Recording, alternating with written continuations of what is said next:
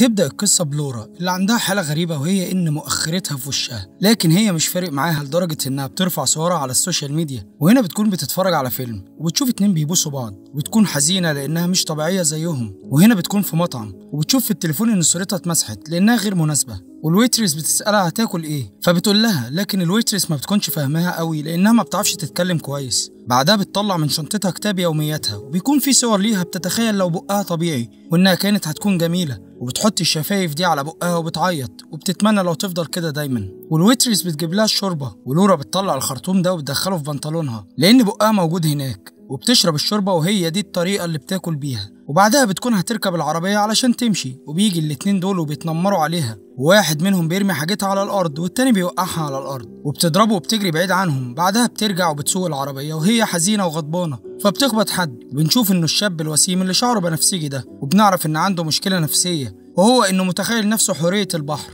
وبيكون عايز يقطع رجله وأمه بتوديه لدكتور نفسي وبتقلعه البنطلون علشان الدكتورة تشوفه وبنشوف الجروح الكتيرة اللي في رجله وده بيخليه يخجل جدا وبيطلع يجري وبيستخبى ما بين صندوقين زبالة وهنا لورا بتعدي على رجله بالعربية وهنا بنشوف البنت دي اللي اسمها لورا برضه وبتكون مولودة من غير عيون وبتكون شغالة عاهره لزباين المطعم لأنها مش قادرة تشتغل شغل عادي بسبب إعاقتها وهنا الزبون ده بيتعاطف معاها وبيديها جوهرتين كأنهم عينيها وهنا بنشوف مدير لورا وبيكون بياخد الفلوس آخر كل شهر علشان يحوشهم ليها. وبتكون لورا ما تعرفش حاجة عن الموضوع ده وبتكون الفلوس مش مكفية حتى تدفع إيجار المطعم. وهنا بتقول للورا تشيل الجواهر اللي في عينيها لأنها بتخوف الزباين والا هتطردها؟ ولورا بتخاف وبتشيل الجواهر من عينها والويترس بتاخد الجواهر. فحد بيفتح الباب فجأة فبتخاف وبتبلع الجواهر وبتروح الحمام علشان تخرجهم لكن الجواهر بتكون كبيرة ومش بتخرج وبتاخد الدش وبتحطه في مؤخرتها علشان تخرج الجواهر بضغط المية وبعد معاناة أخيرا بتخرج الجواهر. بعدها لورا بتعرف إن الجواهر ضاعت وتكون حزينة جدا ومش مش عايزة تدخل زباين من قبل ما تلاقي الجواهر لكن المدير ما بيكونش مهتم وبيقول لها إنه هيطردها لو ما دخلتش الزباين وهنا بترجع لها الجواهر لأنها بتكون مش عايزاها تترمي في الشارع فلورا بتقول لها إنها مش عايزاهم وإنها تقدر تعيش من غيرهم وبتديها لها كهدية والويترس بتقول لها إنها بتحبها جدا. وهنا بتكون لورا مصدومة لأنها خبطت الشاب اللي بشعر بنفسجي وابتسامته بتكون بتحلم بيها. وبتشوف في الأخبار إنه في المستشفى وهنا بنشوف الست دي وبيكون عندها مرض غريب وهو إن نص وشها الشمال مترهل. ولكن بيكون الراجل ده معجب بيها لأنه عنده ميول غريبة لدرجة إنه كان عايز يبوسها في المطعم.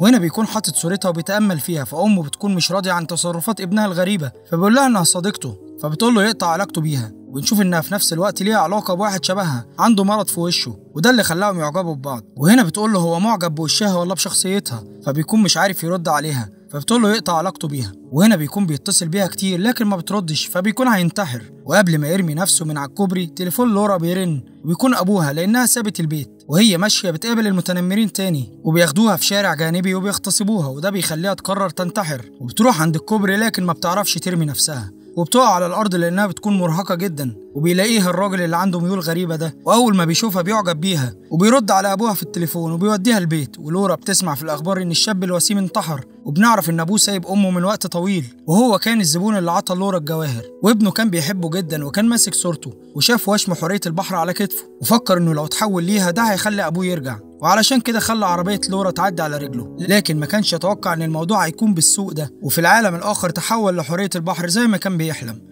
وهنا لورا بتكون بتجري كل يوم وعايشة حياتها طبيعية ولورا التانية هتعيش مع صديقتها ومش هتشتغل كعاهرة تاني. ولورا التالتة أخيرا لقت اللي بيحبها زي ما هي وما بقتش مكسوفة من شكلها. والمغزى من الفيلم إن مهما كان شكلك أكيد هتلاقي اللي يحبك. سلام.